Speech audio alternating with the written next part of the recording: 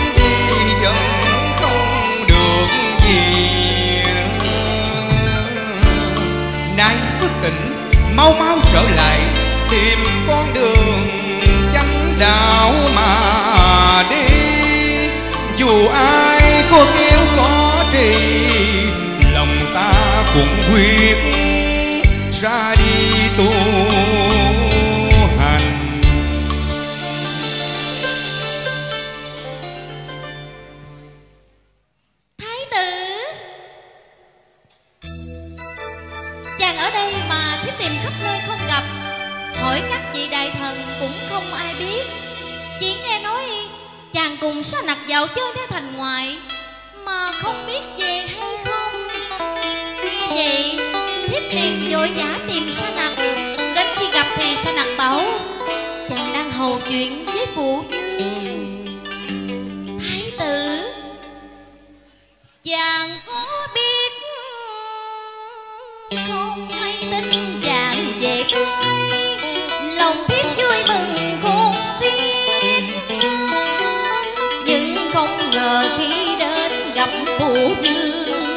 và kê mẫu ba đề.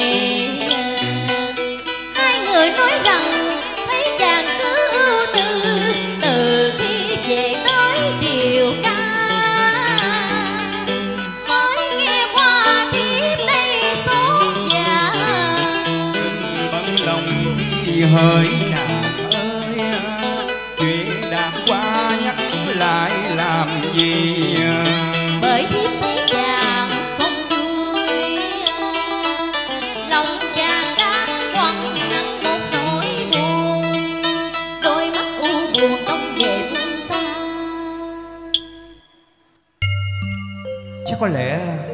Bao ngày qua mệt nhọc thân sắc của ta vẫn chưa tươi tỉnh thôi mà. Phù dương có quở trách rầy la chàng không? Không. Hay nơi ngoại thành có điều gì làm buồn lòng đến chàng? Ta nào có buồn chuyện gì đâu. Vậy thì tại sao chàng không vui? Làm sao ta vui được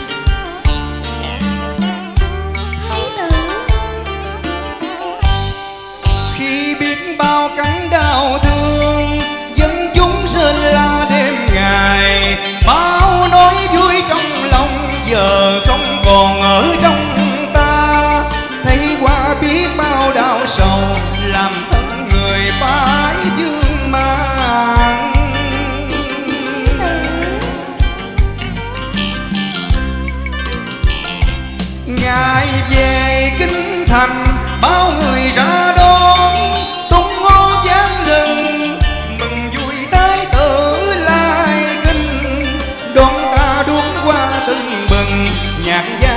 bao kẻ hân hoan bước chân để lên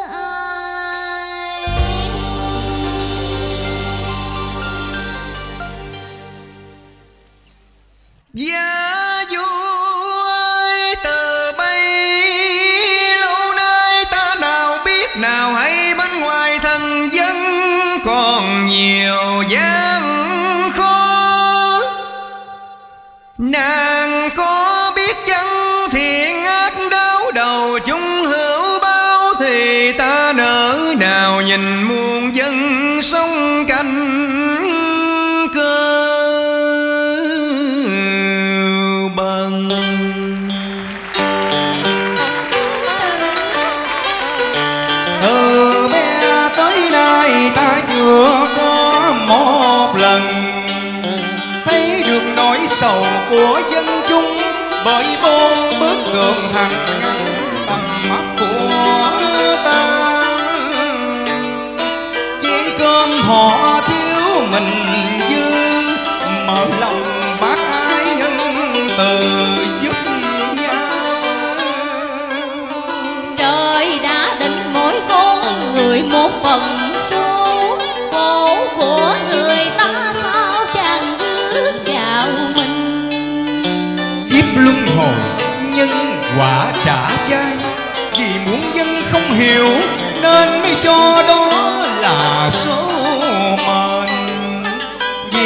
lòng ta giờ đây phát nguyện. Tu tập pháp lành để cứu độ trần gian. Thái tử Chàng vừa nói gì? Chàng định đi tu thật sao? Gia Du. Gia Du ơi Ta mong nàng tha thứ tội. Dưới mắt giác ngộ của ta dạng sự hữu trên thế gian này đều vô thường. Có đó. Rồi, sẽ trở lại hoàng không? Nay còn, thì mai mất, đâu có được bền chắc lâu dài.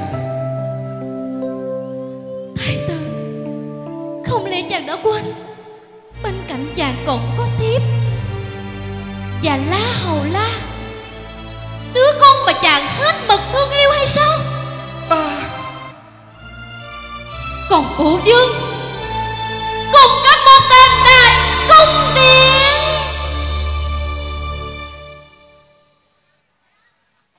Thái tử. Đền đài cung điện. Đền đài cung điện mà chi để sầu muộn tiêu hao. Sao bằng non văn trắng thanh mà tinh thần ai? La. Nàng ơi, ta không thể nào ngồi ngất ngưỡng trên ngôi.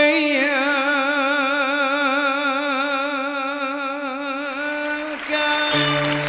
chốn cung son sóc xa qua khi bao người phải lệ kiếp nghèo mưu sinh. Ta thấy mang thân này sinh ra là đạo cô. Một mình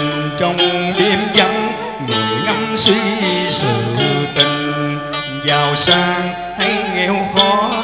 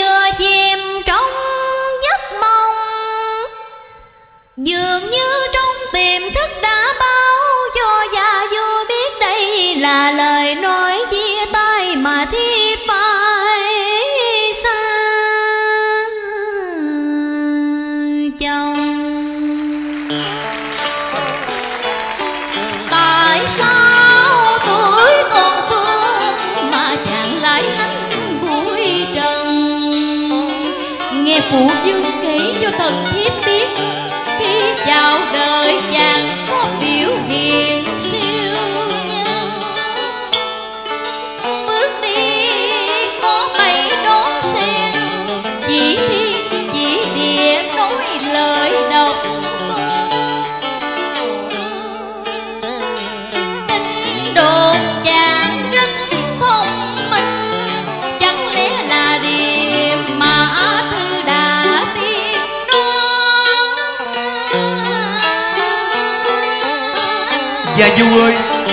mà được thì đời đâu có khổ.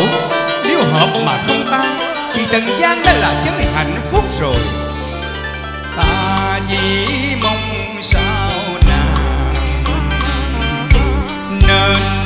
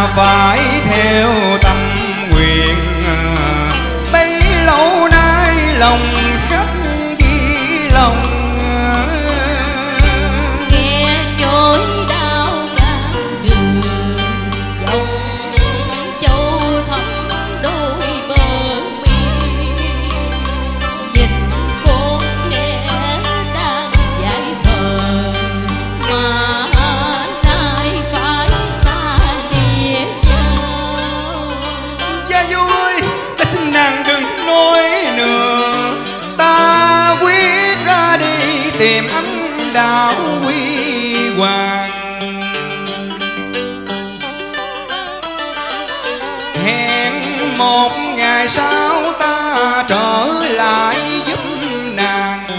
Đem ánh sáng để xóa mờ bóng tối, đem trí tuệ nhiệm màu để cai lối tâm linh. Giúp người thấy được tầm nhìn, giúp người thấy rõ tâm linh trọn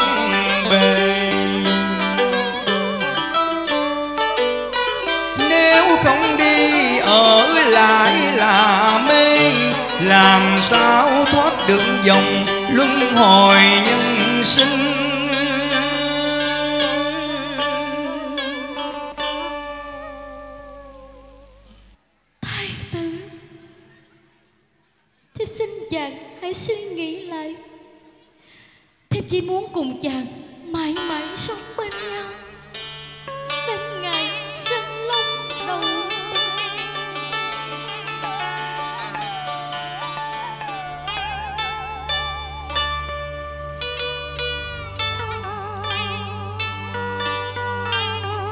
Dây quang, ai lại buộc rằng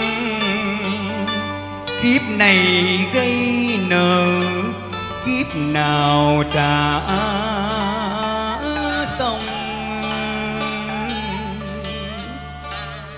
Chớ vì một chút bi ai mà bao quan trai kéo trì cuồng ra khỏi biển luân hồi, quả kia phải hai cho rồi đừng gieo. Dừng chân là bóng chẳng theo, ngừng tay là nghiệp chẳng đeo bên mình.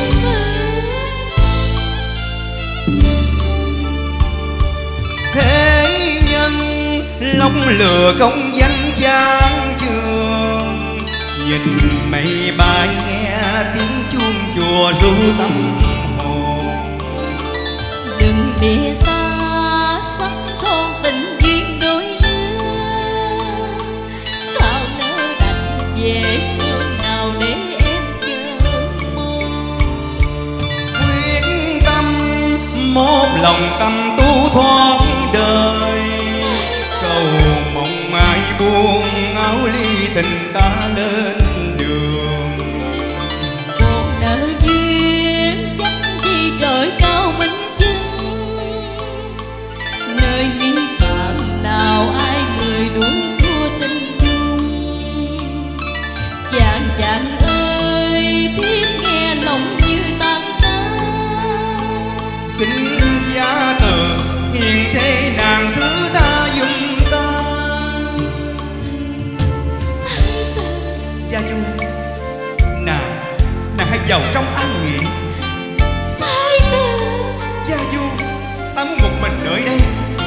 Vì thế thái nhân tình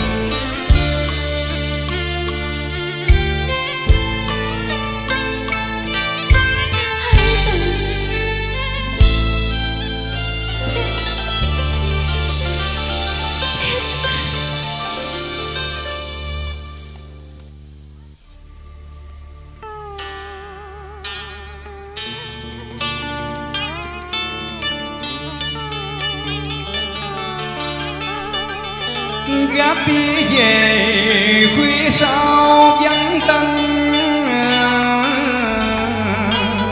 Lầu tây trong điệp mây cánh dài. Thế gian hữu tưởng sinh rồi diệt nghiệp chướng bao giờ hết trả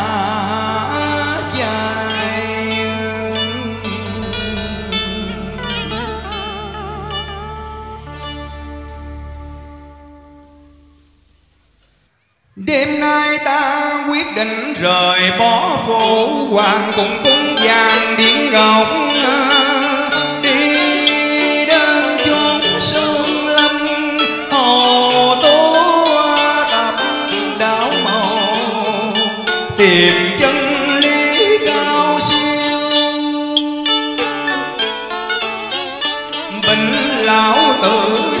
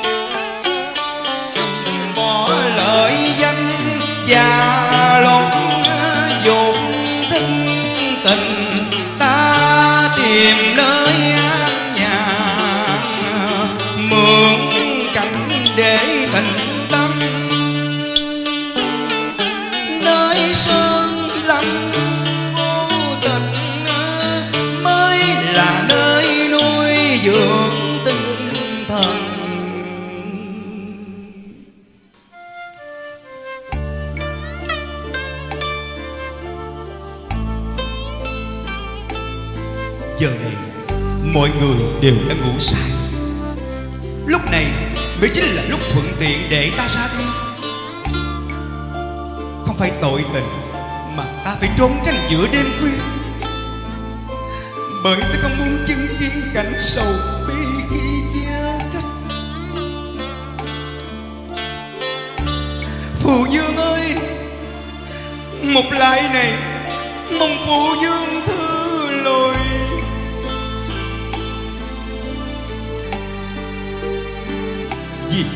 Nguyện mà con trẻ phải xa cha cha du nà ơi là hầu lá con ơi. Vì tình chung mà tình riêng ta gác lại, đêm nay ta quyết ra đi tầm đường tu giải thoát.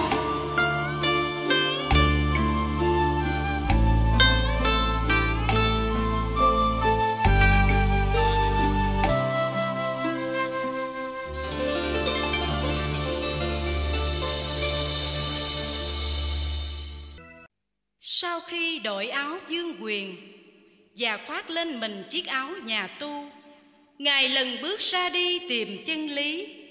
Ngài đã từng gặp rất nhiều danh sư như A Na Lam và Quốc đầu La Phất. Ngài đã trải tắm